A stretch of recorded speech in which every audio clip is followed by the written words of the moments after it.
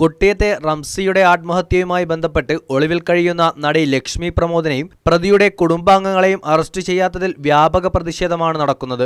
State ക്രൈംബ്രാഞ്ചിന് കൈമാറിയ case S P K G സൈമന്റെ നേതൃത്വത്തിൽ അന്വേഷിക്കാൻ ഡി ജി പി ഉത്തരവിറക്കിയിരുന്നു. തുടർന്നാണ് ഇന്ന് റംസിയുടെ വീട്ടിൽ കെ ജി സൈമണും സംഘവുമെത്തി വീട്ടുകാരുടെ മൊഴിയെടുക്കുകയും റംസി ആത്മഹത്യ ചെയ്ത മുറിയും മൊബൈൽ ഫോൺ ഉൾപ്പെടെയുള്ളവ പരിശോധിക്കുകയും ചെയ്തത്. പ്രമാദമായ കൂടത്തായി കേസ് കൃത്യമായി പഴുതടച്ച് അന്വേഷിച്ച ഉദ്യോഗസ്ഥന് കേസ് കൈമാറിയത് റംസിയുടെ കുടുംബത്തിന് നീതി കിട്ടുമെന്ന പ്രതീക്ഷയിലാണ് ജസ്റ്റിസ് ഫോർ റംസി കൂട്ടായ്മ.